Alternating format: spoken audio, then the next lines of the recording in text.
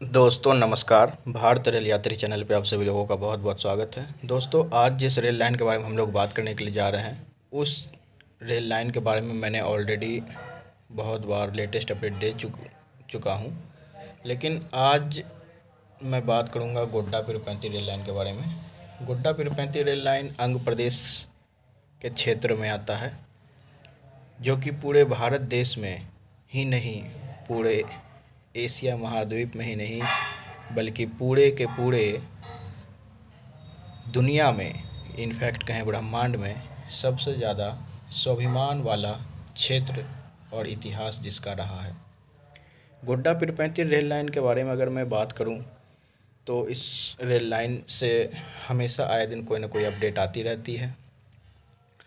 पहले मैं इस रेल लाइन के बारे में सब कुछ आपको बताऊँगा कि कैसे कैसे ये रेल लाइन काम करने वाली है और किस तरीके से मेन लाइन और सीमांचल का जो क्षेत्र है यहाँ तक कि जो ये दोनों रेल लाइनें आपको दिख रही हैं, ये दोनों रेल लाइन जैसे कि ये नई दिल्ली, पटना, हावड़ा मेन लाइन और ये वाली जो रेल लाइन है, खगड़िया, नौगछिया, कटिहार वाली जो मेन लाइन है, ये दोनों रेल लाइन अभी कनेक्ट होने के लिए बहुत बार मतलब कि बढ़िया होकर के इस तरीके से आना पड़ता है, यहाँ पे एक ही पुल बना हुआ है तो बहुत ज़्यादा ये होता है, लेकिन अब ये दोनों रेल लाइन कनेक्ट हो जाएगा इस तरीके से भी।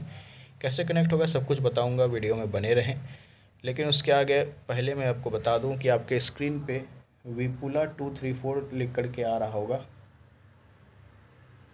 वीडियो टाइटल में, आप उस पर टैप करेंगे तो मेरा चैनल का पॉपअप ओपन होगा। वहाँ पर लाल कलर में सब्सक्राइब बटन होगा, आप उस चैनल को भी ज़रूर से ज़रूर सब्सक्राइब कर लें। दोस्तों, गुड्डा पिरपैंती रेल लाइन के बन जाने से क्या होगा कि ट्रेनें डायरेक्ट ही जसीडी से, आप ये देख सकते हैं, जसीडी से ट्रेनें डायरेक्ट ही पिरपैंती आ पाएँगी। और जसीडी से ट्रेनें अगर डायरेक्ट ही पिरपैंती आ जाएँगी तो बहुत सारी ट्रेनें जो कि अभी नहीं चल रही हैं, वो सब ट्रेनें आगे डाइवर्ट हो सकती है इस रूट पे।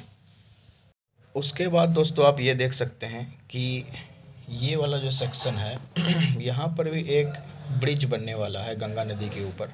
इससे क्या होगा कि कल को कोई भी ट्रेन जो कि गुड्डा पिरपैंती रेल रूट पर चलेंगी, वो ट्रेन आगे भी जा कर के सीमांचल या फिर उत्तर बिहार से कनेक्ट हो सकती है। कैसे कनेक्ट होंगी, वो मैं आपको सब कुछ बताता हूँ कि किस तरीके से कनेक्शन रहेगा। दोस्तों, आप अपने स्क्रीन पे यहाँ पे देख पा रहे होंगे कटरिया और यहाँ पे आप दोस्तों देख भी पा रहे होंगे फिर पैंतीस शिवनारायणपुर कहलगाँव। तो कुछ इस तरीके से रेल लाइन बनने वाली है।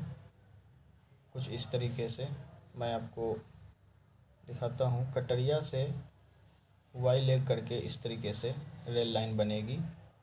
एक लाइन आएगी शिवनारायणपुर को, दूसरी रेल लाइन आएगी विक्रमशिला को। यहाँ पे विक्रमशिला रेलवे स्टेशन है, जहाँ पे विक्रमशिला एंशियंट इंडिया में जो एंशियंट टाइम्स में यूनिवर्सिटी थी, वो है।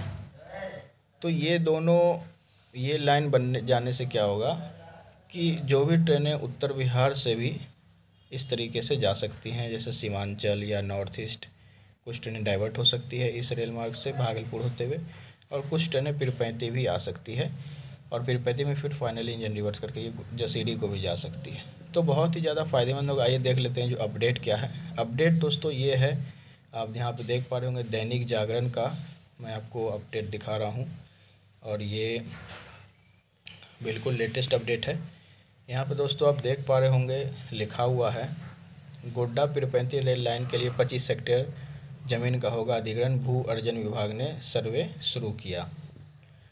तो अब इसमें विस्तार से आज हम देखेंगे, ये आप देख पा रहे होंगे। 22 मई का ये अपडेट है और आज 23 मई हो गया है। तो देखते हैं क्या अपडेट निकल कर सामने आ रहा है। अपडेट में दोस्तों देखिए, लिखा हुआ गोड्डा पिरपैती रेल लाइन के लिए 25 हेक्टेयर ज़मीन का अधिग्रहण होगा। भू अर्जन विभाग ने ऑन द स्पॉट सर्वे का काम शुरू कर दिया है। भू अर्जन विभाग के कर्मचारी व अमीन ज़मीन का सर्वे कर रहे हैं। सर्वे के दौरान देखा जा रहा है कि जिस होकर रेलवे लाइन गुजरेगी, वहाँ मकान तो नहीं है पेड़ पौधे तो नहीं हैं। परियोजना के लिए चिन्हित पाँच मौजे के दो सौ इकतालीस खसरे की स्थलीय जाँच की जा रही है। सर्वे के बाद अधिसूचना जारी की जाएगी।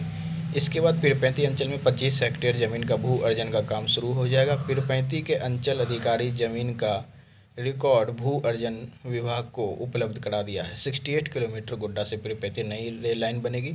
8 किलोमीटर पिरपैंती अंचल में बिछेगी। इसके आगे दोस्तों आप यहाँ पे देख पा रहे हैं, लिखा हुआ है कि 2014 में तैयार हुई थी योजना गुड्डा। ज़िले में भू अर्जन का काम चल रहा है। 2014 में जसीडी गोड्डा पिरपैंती रेल लाइन योजना तैयार की गई थी। इसे तीन फ़ेज़ में पूरा किया जाना है। पहले फ़ेज़ में गोड्डा, महागामा के बीच अट्ठाईस किलोमीटर पट्टी बिछेगी गोड्डा से पिरपैंती के बीच तीसरे फ़ेज़ में काम किया जाना है। गोड्डा में दियारा, मछिया सिमरडा वैसाड़ी गाँव होकर पटरी बिछेगी। पिरपैंती अंचल के उदयपुरा, मौजा में two point two one eight five hectare Majrohi मौजा में zero point seven five six eight hectare, Rifatpur मौजा में सबसे अधिक बारह दशमलव आठ नौ नौ दो, हेक्टेयर पर परसबन्ना मौजा में nine point zero one nine one hectare ज़मीन का अधिग्रहण होगा। प्यालापुर मौजा में ज़मीन को लेकर सर्वे चल रहा है। यहाँ कितनी ज़मीन का अधिग्रहण होगा, सर्वे के बाद आकलन होगा।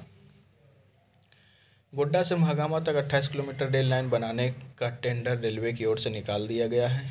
इस पर 468 करोड़ रुपए खर्च होंगे। इस रूट पर रेल लाइन बिछाने के साथ इलेक्ट्रिफिकेशन, सिग्नल व टेलीकॉम का काम होगा। जसीडी पिरपैंती के बीच एक सौ सत्ताईस किलोमीटर के इस प्रोजेक्ट में 68 किलोमीटर। गोड्डा से पिरपैंती नई रेल लाइन बनेगी। यह लाइन बटेश्वर स्थान, नौगछिया रेलवे पुल से भी जुड़ जाएगा।